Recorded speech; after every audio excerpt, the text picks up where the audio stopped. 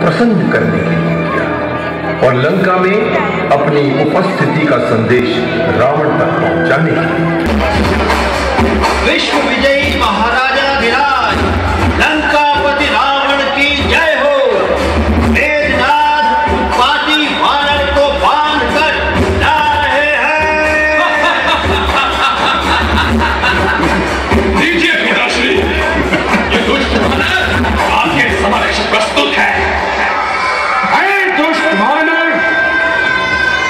तुम्हें मृत्यु का किंचित मात्र भी भय नहीं। जो इतना तो साहस किया है तुमने।